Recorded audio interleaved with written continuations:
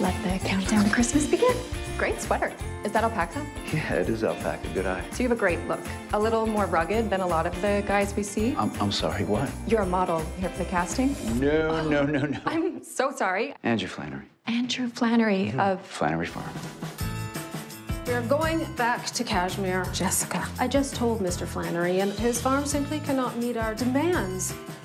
There's a competition for emerging designers. It's called Runway to Christmas. The winner gets a cash prize to create their own line. You are the top Christmas sweater designer at the hottest label in New York City.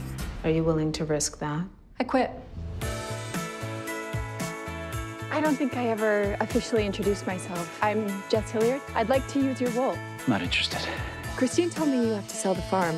If we win this competition, I can guarantee enough orders to keep the farm running. Please, Dad?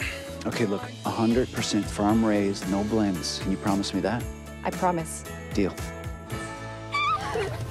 I know they uh, look cute. They can be feisty. Oh, okay.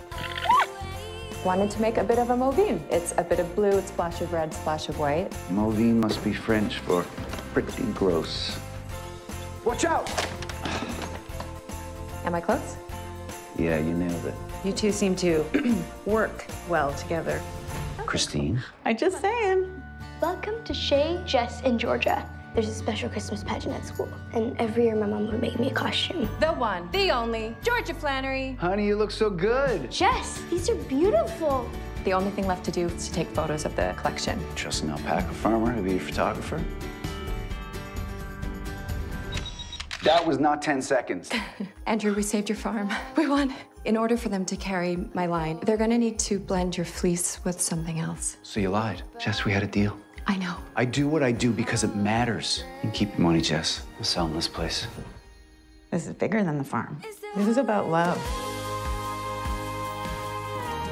Clemington's has just graciously agreed to launch their first run of 100% sustainably sourced alpaca fleece.